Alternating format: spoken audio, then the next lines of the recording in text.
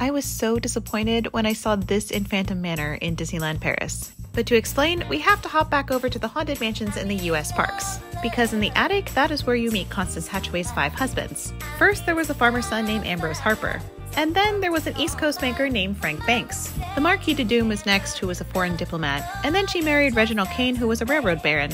And last, of course, was George Hightower of the Hightower family. And while I love the detail of their hats next to their hat boxes, and how Reginald Kane's chair was repurposed from the Haunted Mansion movie, what disappointed me was that they're just not as funny as the ones that are in the Phantom Manor, like Captain Rowan D. Falls, who went over a waterfall, and Sawyer Bottom, who got it in the end.